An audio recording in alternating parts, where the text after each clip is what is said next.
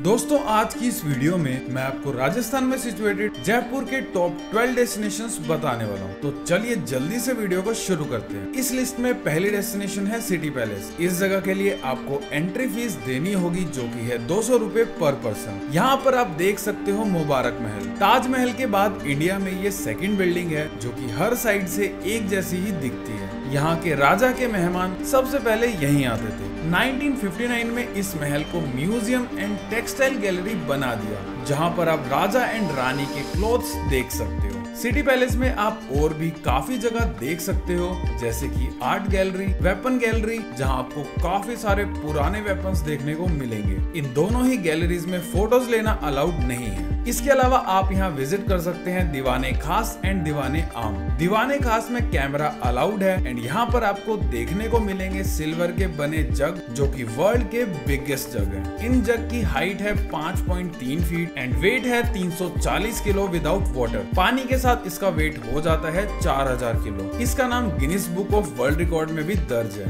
दीवाने आम में आप गैलरीज विज़िट कर सकते हैं। नेक्स्ट प्लेस जहाँ विज़िट कर सकते हैं वो है हवा महल। यहाँ की एंट्री फ़ीस है, पचास रूपए पर पर्सन। हवा महल देखने में बहुत सुंदर लगता है एंड इस महल में 953 विंडोज़ बनी हुई है। यहाँ एंटर करते ही सबसे पहले आपको फाउंटेन दिखेगा, जहाँ आप अच्छी फ़ोटोज़ क्लिक करवा सकते हो। इसके बाद आप वहाँ के local songs and music enjoy कर सकते हो, जो की आपको वहाँ के लोकल आर्टिस्ट लाइव सुनाएँगे। हवा महल में काफ़ी सारे रूम्स भी बने हुए हैं। यहाँ एंटर करने के बाद आपको लगेगा जैसे आप किसी भूल भुलैया में आ गए हो। हवा महल के सामने कुछ रेस्टोरेंट्स भी बने हुए हैं, जहाँ बैठकर आप हवा महल का फ्रंट व्यू एंजॉय कर सकते हैं। इस लिस्ट में नेक्स्ट प्लेस है नाहरगढ़ फोर्ट आप अपने व्हीकल से इस जगह तक पहुँच सकते हो, या फिर आप बाइक हायर करके भी यहाँ आ सकते हो। इसके रास्ते में काफ़ी सारे शार्प टर्न्स हैं तो बस उनका ध्यान रखना। इस फोर्ट से आपको बहुत ब्यूटीफुल नज़ारा देखने को मिलेगा। नारागढ़ फोर्ट का क्लोज होने का टाइम रात का है, इसलिए इवन आप रात के नौ बजे भी यहाँ एंटर कर सकते हो। यहाँ से आपको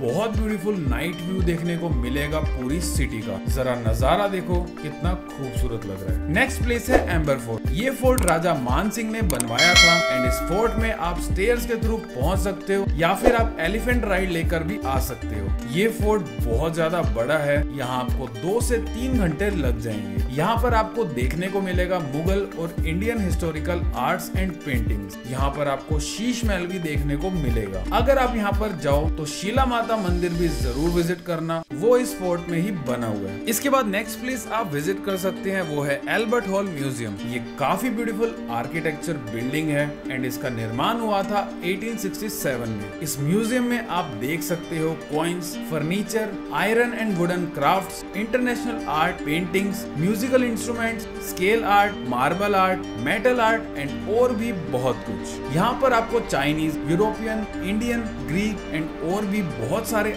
आर्ट्स एंड हिस्ट्री का पता चलेगा. इन शॉर्ट आपको इस जगह पर राजस्थान की हिस्ट्री देखने को मिलेगी, जिसको देखने मैक्सिमम टूरिस्ट यहाँ पर आते हैं। इस जगह पर टूरिस्ट के लिए ऑडियो गाइड भी अवेलेबल है, या फिर आप गाइड भी ले सकते हो अपनी कन्वीनियंस के हिसाब से। बहुत ही ज़्यादा ब्यूटीफुल है। अगर आप जयपुर आओ तो यहाँ पर ज़रूर विज़िट करना। इस जगह पर आपको एक इजिप्टियन मम्मी भी देखने को मिलेगी। नेक्स्ट प्लेस जहाँ विज़िट कर सकते हैं, वो है जयगढ़ फोर्ट जयगढ़ फोर्ट हज़ार साल से भी पुराना फोर्ट है। यहाँ की एंट्री टिकट का प्राइस है दो सौ पर पर्सन इस फोर्ट से आपको अरावली हिल्स का बहुत अच्छा व्यू देखने को मिलेगा। इस फोर्ट में आप तो कैसे बनती है, वो भी देख सकते हैं। इस फोर्ट की खास बात ये है कि यहाँ पर दुनिया की सबसे बड़ी तोप ऑन व्हील्स प्रेजेंट है जो कि सिर्फ़ एक बार यूज़ हुई थी, वो भी टेस्टिंग के लिए। इस तोप की रेंज है 35 किलोमीटर। इस तोप का गोला जहाँ पर गिरा था, उस जगह को लेक बना दिया एंड उस लेक का नाम है गोलीमार लेक। यहाँ पर एक खुफिया तहखाना भी मौजूद है, जहाँ पर खजाना छुपाया जाता था एंड ये पानी के नीचे बना हुआ है। साथ ही साथ यहाँ पर बहुत सारी टनल्स भी बनी हुई है। आप ये बात जानकर हैरान हो कि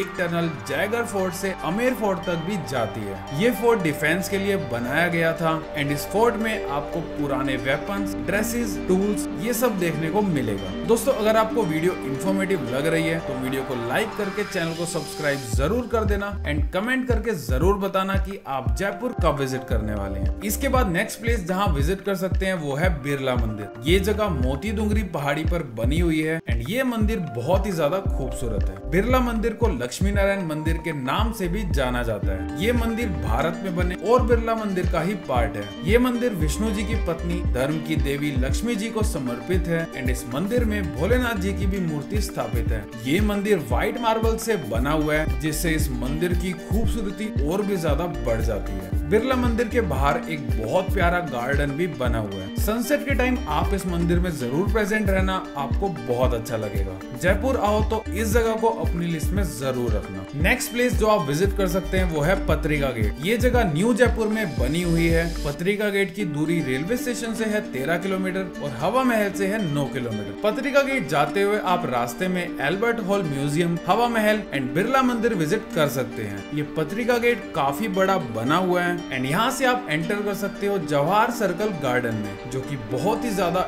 इंस्टाग्रामेबल स्पॉट है। पत्रिका गेट में एंट्री की कोई भी फ़ीस नहीं है एंड ये पूरा टाइम खुला रहता है। यहाँ पर आप मॉर्निंग के टाइम विज़िट करना, उस टाइम क्राउड बहुत ज़्यादा नहीं होता है। इस जगह पर आप ट्रेडिशनल आर्किटेक्चर देख सकते हो एंड ये प्लेस इंस्टाग्राम रील्स के लिए बहुत ज़्यादा फ़ेमस है। साथ ही साथ काफ़ी लोग यहाँ पर अपनी प्री वेडिंग शूट के लिए भी आते हैं। नेक्स्ट प्लेस है जंतर मंतर जंतर का मतलब होता है मशीन और मंत्र का मतलब होता है कैलकुलेट तो जंतर मंतर का मतलब बनता है वो मशीन जो कैलकुलेट करती है किसी चीज़ को। इंडिया में पाँच जंतर मंतर बने हुए हैं, लेकिन सबसे बड़ा जंतर मंतर जयपुर में है। यहाँ पर आपको 14 डिफरेंट टाइप्स के डिवाइसेस देखने को मिलेंगे, जो पुराने समय में यूज़ होते थे टाइम और डिस्टेंस को मेजर करने के लिए। यहाँ आपको वो डिवाइस देखने को मिलेंगे, जो 300 साल पहले बने थे एंड आज भी उनकी एक्यूरेसी मॉडर्न टेक्नोलॉजी को पीछे छोड़ देती है। ये जंतर मंतर बाकी जंतर मंतर के जैसा नहीं है। यहाँ आपको हिस्ट्री की काफ़ी ज़्यादा नॉलेज मिलेगी। मैं आपको सजेस्ट करूँगा कि यहाँ आप एक गाइड भी कर लेना।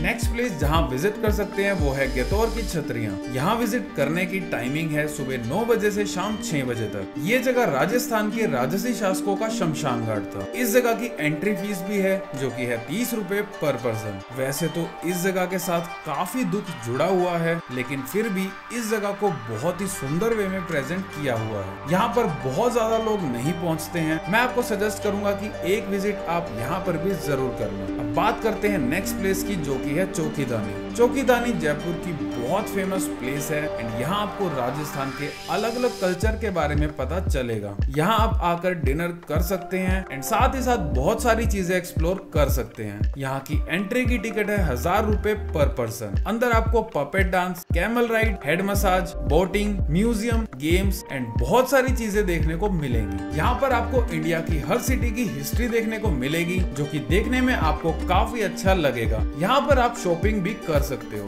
जयपुर जाओ तो चौकीदानी ज़रूर विज़िट करना। नेक्स्ट प्लेस जहाँ विज़िट कर सकते हैं वो है जल महल इसका निर्माण हुआ था 1799 में। जैसे कि इसका नाम है जल महल वैसा ही ये बना हुआ है, पानी के एकदम बीच में। जल महल में कोई भी रूम नहीं बना हुआ है। बताया जाता है कि यहाँ पर राजा एंड रानी टाइम स्पेंड करने आते थे। इसके अलावा जो भी उनके इवेंट्स एंड फ़ंक्शंस होते थे, वो भी उस टाइम के राजा यही ऑर्गेनाइज करवाते थे। इसके रूफ टॉप पर एक बहुत खूबसूरत गार्डन बना हुआ है, जो की राजस्थान का हाइएस्ट रूफ टॉप गार्डन है। इस महल में राजा अपने मेहमानों को भी लेकर आते थे। इस महल में काफ़ी ब्यूटीफुल आर्ट बनी हुई है, जिसे देखकर आप हिस्ट्री के बारे में जान सकते हैं। ये थी टॉप 12 डेस्टिनेशन जयपुर की। ऐसी ही और वीडियोस के लिए चैनल को सब्सक्राइब एंड वीडियो को लाइक ज़रूर कर देना। मिलते हैं नेक्स्ट वीडियो में।